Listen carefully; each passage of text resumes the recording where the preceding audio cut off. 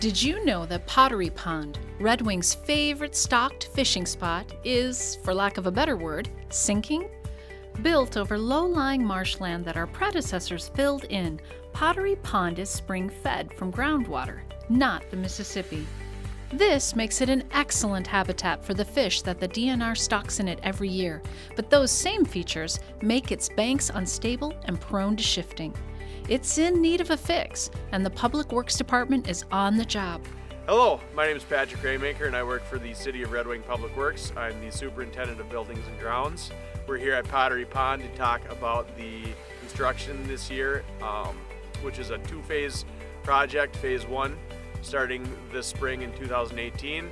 Phase one will be work on the east and west sides of the pond, including bank stabilization, ADA access to the fishing pier, ADA access to the fishing point on the east side, and replacement of the boards on the fishing pier.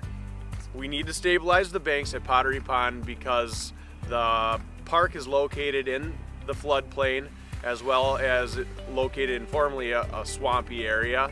The park is sinking, so we need to add in fill with a geogrid to stabilize the bank so we can provide a safe opportunity to fish um, on the edges of the pond.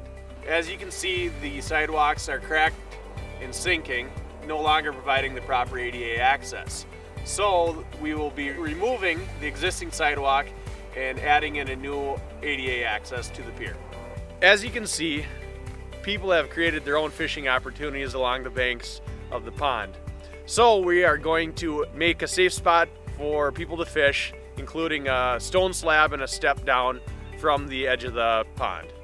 The east fishing point, we will be removing the sidewalk, raising up the bank, and adding geogrid to stabilize the earth. We will be removing the old wooden waterfall nest because it's deteriorated beyond repair. So other improvements include removal of buckthorn, additional lighting on the parking lot, and replacement of signage. The uh, Pottery Pond project is being paid for out of the capital improvement plan for 2018. Work will begin the summer of 2018 and will be completed by October 31st of 2018. There may be intermittent closures to Pottery Pond, however the skate park will remain open all year long. So we understand this will be an inconvenience to people wanting to fish at Pottery Pond. However, we do need to maintain ADA access and a safe park for all of the community. That's the scoop on the restoration of Pottery Pond Park that will begin this summer. Got a question you'd like answered by those in the know? Send it to the city through Facebook, our website, or call it in. It just might be the story behind the next episode of City 101.